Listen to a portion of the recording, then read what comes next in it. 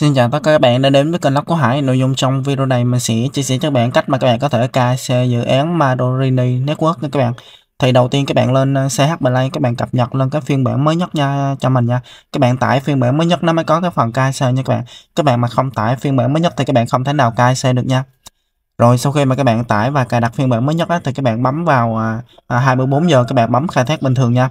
Ở đây các bạn bấm vào menu dấu ba ba gạch nè tại đây có cái KC nè các bạn bấm vào cho mình. Rồi ở đây thì nó hiện ra là KC nha các bạn. Thì à, KC chúng ta KC bằng ID kẹt nha tức là căn cước công dân nha các bạn. Rồi các bạn bấm vào Start KC phía bên dưới nè. Rồi các bạn bấm vào cái nút này. Rồi nó sẽ chuyển các bạn sang à, trình duyệt à, web của nó để KC nha các bạn thì đây nó có một số cái thông tin để mà các bạn có thể đọc nè. Xác minh tài khoản mạng Madurini của bạn bằng cách cung cấp ID hợp lệ à, của chính phủ cấp nè. Làm việc à, này thường mất từ à, 10 phút nha các bạn. Thì họ kêu là chúng ta điền chính xác vào cái biểu mẫu bên dưới để sẵn sàng hoàn tất cái quy trình KC nha. Rồi à, những thứ mà các bạn còn có nè đó là chuẩn bị giấy tờ để mà tải lên nè. À, do chính phủ cấp nè đảm bảo camera của thiết bị không bị chia chắn hoặc là hoạt động tốt nè.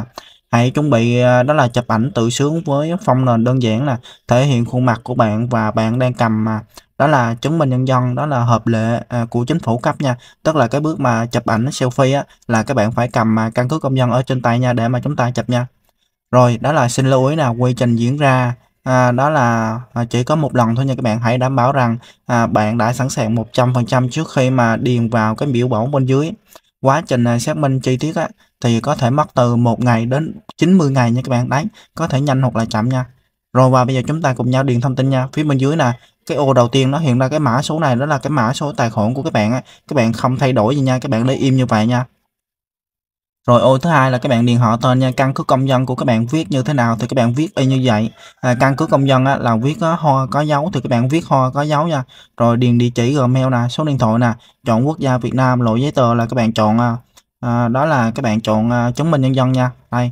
Ờ, ở đây thì nó không không có ID kẹt thì chúng ta chọn à, chứng minh nhân dân nha các bạn. À, chứng minh nhân dân cũng giống như ID kẹt đó rồi bên dưới là các bạn tải lên đó là mặt trước căn cước công dân nè tải lên mặt sau căn cước công dân nè rồi các bạn chụp ảnh tự sướng nha đấy chụp ảnh tự sướng à, nhưng mà cái mà tải lên mặt trước và mặt sau căn cước công dân nè thì các bạn à, nếu mà các bạn à, tải lên mà nó nói dung lượng vượt quá giới hạn á thì các bạn phải nén cái dung lượng của các bạn xuống nha. Thì các bạn chụp trước cho mình đó là mặt trước và mặt sau căn cước công dân nha các bạn. Rồi các bạn lên à, những cái trang mà nén ảnh ở trên mạng á à, đây nào ví dụ như mình có một cái trang này ví dụ như là cái trang cái trang này nè đấy các bạn có thể vào cái trang này nha này à, các bạn vào cái trang này để mà tải ảnh lên tải một bức ảnh lên nè à, để mà các bạn bấm vào chữ upload nè để tải ảnh lên và nén ảnh xuống lại nha các bạn nén ảnh xuống rồi tải về để mà giảm cái dung lượng nha các bạn thì các bạn có thể lên bất cứ cái trang nào mà nén ảnh được thì các bạn cứ việc nén nha rồi sau khi mà các bạn nén ảnh xong thì chúng ta tiến hành điền mà mọi thông tin nha các bạn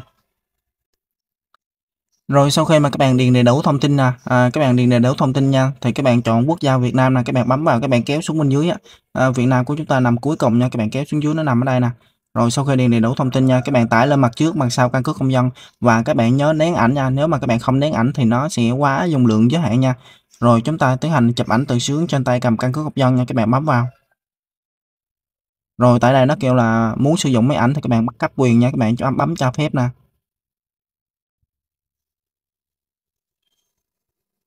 Rồi phía bên dưới nè, à, nó nó hiện ra như thế này nè, thì các bạn, à, bấm vào cái chữ chiếm lấy để mà chụp hình nha, thì trên tay các bạn cầm căn cước công dân nha các bạn.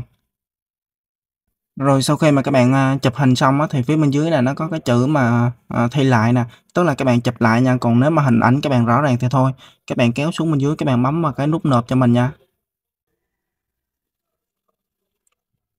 Rồi như vậy là chúng ta đã gửi đó là KC thành công nha các bạn. Công việc của chúng ta hiện tại là chỉ chờ thôi nha các bạn. Khi nào mà chúng ta vượt qua KC thì nó có thông báo nha. Rồi sau khi mà các bạn gửi tài liệu KC thì các bạn vào ứng dụng của chúng ta nè, các bạn cũng bấm vào menu nè. Rồi các bạn bấm vào cái phần KC nè thì nó báo cho chúng ta là đã gửi tài liệu nè. Chúng ta có thể chờ từ ờ, 10 cho tới 90 ngày nha các bạn là nó sẽ duyệt à, KC nha. Thì quá trình duyệt này nó hơi bị lâu nha các bạn thì có thể nó duyệt KC bằng à, thủ công nha các bạn. Rồi cái nhiệm vụ của chúng ta hàng ngày vẫn là tích cực sau 24 giờ và bấm khai thác một lần nha các bạn. Rồi và video chia sẻ của mình đến đây đã kết thúc. Các bạn có thể nhấn nút đăng ký và bật chuông thông báo để đón xem những video tiếp theo nha. Xin chào và hẹn gặp lại tất cả các bạn.